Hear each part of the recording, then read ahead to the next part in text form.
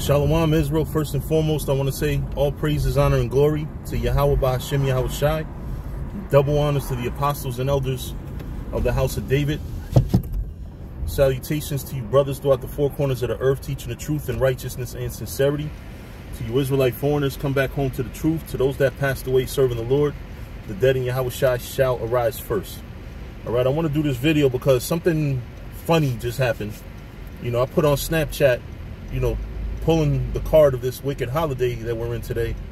And I said, hey, if uh, if the Bible says that Yahweh would be in the tomb three days, and Good Friday is a representation of when he went in the tomb, and Easter Sunday is when he resurrected, then the question becomes, uh, how the fuck does that add up to three days? So then I get somebody some dumb bitch that I don't even fuck with no more. You know? On a on on the comment, you know, it's not a comment board on Snapchat, but she hit me on the inbox and said, Don't do that. You know, you criticizing people beliefs. So I'm like, I ain't criticizing nobody beliefs. I'm putting information out there. You know? The fact of the matter is people follow these religions and they, they blindly follow this shit and they don't understand what they're doing. You know, and that's that's the type of situation we're dealing with here. We're dealing with people that that follow religions and they don't know how to um how to explain certain things as simple as how the fuck on Easter Sunday I'm gonna call that shit Keister Sunday, man. Cause you gotta be an asshole to to celebrate that shit with all the information out there on it, you know? But how how, how do you have you know, you say two days you actually have two calendar days, but you say, but you go according to scripture that says it's three days. That's the simplest thing. I could go into how the the Easter egg uh, represents the uh, fertility goddesses and all that other shit. You know, but I'm not I'm not going to. I'm just gonna keep it very simple. Go by the scriptures. Go by the Bible. You know, the same Bible that you Christians claim to, to believe in. You know? And I posted the scripture on social media not one person commented because you know what? Y'all cut. You know, because on social media, I have a whole bunch of people that are not in the truth, along with some people in the truth, or that know no aspects of the truth. And you know what I'm saying? It's it's like I'm not I'm not I'm not the one to you know force information on people, but I will put it out there. You know, and that's the thing is people don't want to don't want you to even put it out there. I don't force nobody to to believe whatever they want to believe. Like, you know what I'm saying? But at the same time, I'm going to put out the, the knowledge so that you can decide for yourself. You know, if you're going to keep celebrating Easter after I done put the the mathematics of it on blast, that's on you. That's between you and the Most High. For Israelites, and this is the thing that, that we have to understand, right? Because we, we've been going about it wrong for, for, for a long time. We don't, it's not up to us to, to uh, get mad because a lot of us get mad when people don't see it. You know, you have to understand something. It's not up to you. It's not the person stupid. It's the person's not, you know, not open to the knowledge. So that's on them. They're the ones that's going to pay for it, not you. So why do you get mad because somebody don't see it? I don't get mad because people don't see it. You know, you have patience with people. Sometimes people won't see it then and there, but they'll see it later.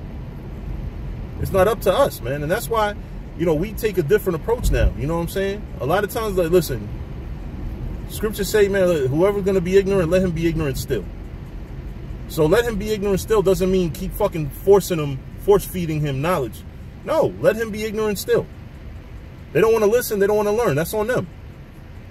Our job is to just put it out there. We, we, like I said, we, we have too much, we waste too much energy being mad when people don't agree with us. You know? And the fact of the matter is, you don't have to agree with us. You know?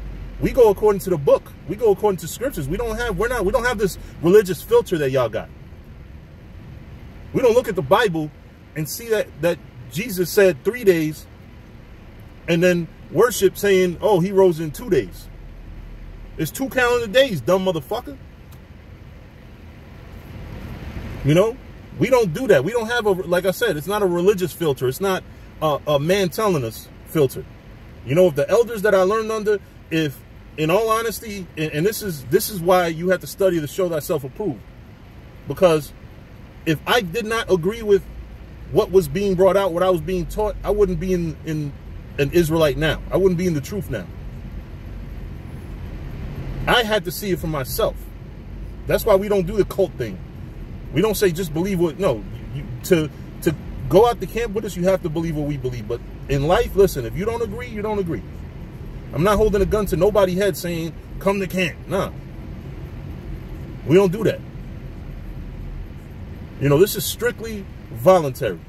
You know, if you if you feel that that you have a, a, a choice in the matter, you know, because man's goings are of the Lord. You you have a choice, but you really don't have. You think you have a choice. I think that I have a choice to go to camp or not to go to camp every week. Well, I don't, but you know, but I, I feel like it. You know what I mean? I feel, you know, it feels like I have a choice. You know, but I don't because I know better. I know that the Lord is the one that inspires me to go to camp. You know, but back to the original basis of this thing, it's so easy to cut Easter, man. I, I think Easter's probably even easier than, than Christmas. You know, and I'm not saying, listen, you know, I'm not I'm not raining on your parade as far as listen, if you want to get together with your family and all that shit and and this is the type of day where your job would would accept you being late tomorrow or whatever, you know, or like like like with Thanksgiving. I don't knock the opportunity to, you know, get together with your family, quote unquote. What I knock is is the fact that you have to do it when the fucking white man says says it with the fucking turkey. You do it the same way he he he prescribes for you to do it.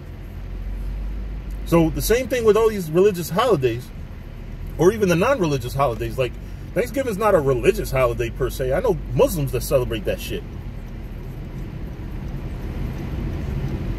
You know, but the fact of the matter is that these holidays are on false premise. Now, if you want to say, hey, listen, on Thanksgiving, you know, on, on, on when the white man has his Thanksgiving, you know, we take it as an opportunity to get together with family, fine by me. You know, but don't sit there and have a fucking turkey, have the fucking cranberry sauce, have all that bullshit on your table and say that's not Thanksgiving. You know? Plain and simple. You know, but with that, I'm going to say all praises, honor, and glory to Yahweh Bahashim Yahweh Shai. Double honors to the apostles and elders of the house of David. Salutations to you brothers throughout the four corners of the earth teaching the truth in righteousness and sincerity. To you Israelite foreigners, come back home to the truth. To those that passed away serving the Lord, the dead in Yahweh Shai shall arise first. Shalom, Israel.